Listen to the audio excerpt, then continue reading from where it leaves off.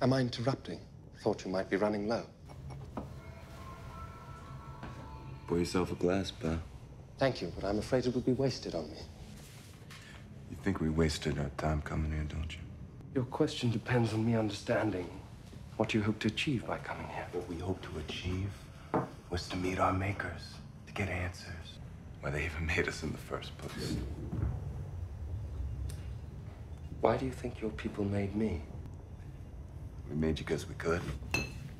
Can you imagine how disappointing it would be for you to hear the same thing from your creator? May I ask you something?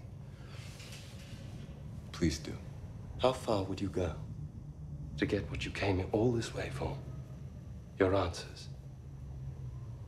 What would you be willing to do? Anything and everything.